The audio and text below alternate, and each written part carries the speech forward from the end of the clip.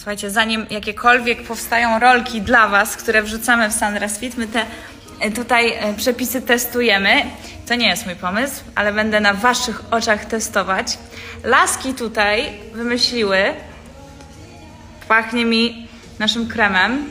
I uwaga, na jakim mleku to jest? Migdałowym. Mleko migdałowe. Rozpuściły nasz krem kakaowy i dodały maczę. Spróbujmy.